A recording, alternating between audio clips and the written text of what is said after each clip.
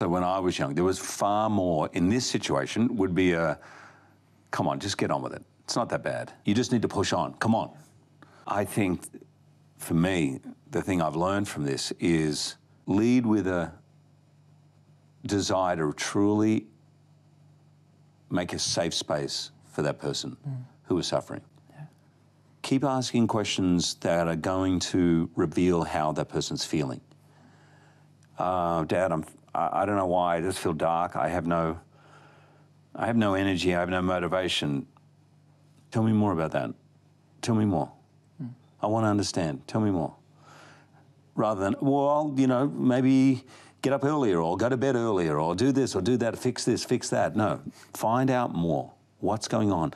L- allow that young person to be able to express how they feel, even if they don't know how to describe it.